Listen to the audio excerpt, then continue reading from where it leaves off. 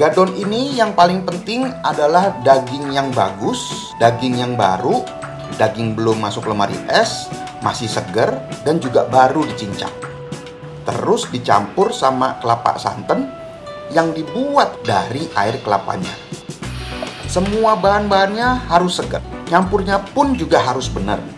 Jangan sampai telurnya belum dikocok benar, terus dicampur, apalagi dimasak. Itu udah nggak akan jadi gadon yang bagus karena pasti akan banyak bercak-bercak warna telur yang belum terkocok.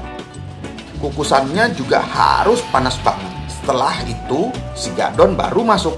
Habis itu juga apinya harus dikecilin supaya tidak akan terlalu banyak buih-buih yang akan terdapat di dalam gadonnya. Itu tipsnya. Jangan lupa untuk selalu masak gadon.